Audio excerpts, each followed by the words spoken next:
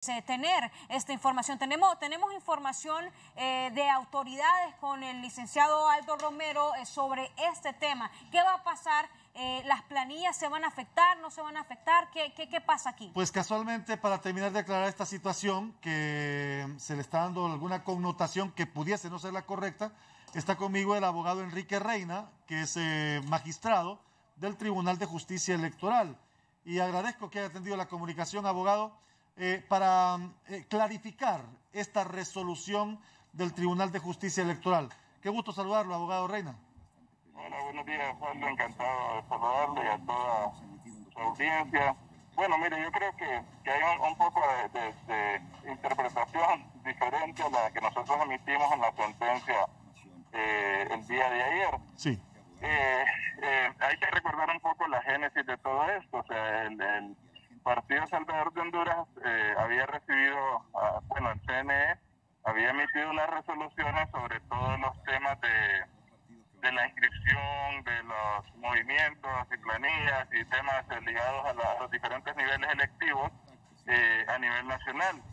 Eh, esto fue apelado por otro grupo de simpatizantes del PSH y la resolución que emitimos ayer lo que dice en pocas palabras es que el CNE había emitido, como le digo, dos resoluciones en las que le, eh, eh, al Partido Salvador de Honduras el 2 de agosto de este año que solventara una serie de, de eventos para que se inscribieran las planillas de Choluteca y Cortés. Lo que hacemos nosotros, porque es lo, más o menos lo que se pide en la apelación, es, uno, eh, uno es que reiteramos que la autoridad reconocida del Partido Salvador de Honduras es la que la que tiene el, ingeniero Salvador Narrala.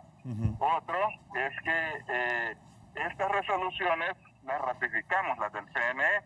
Lo que se dice es que deben cumplir con una serie de requisitos.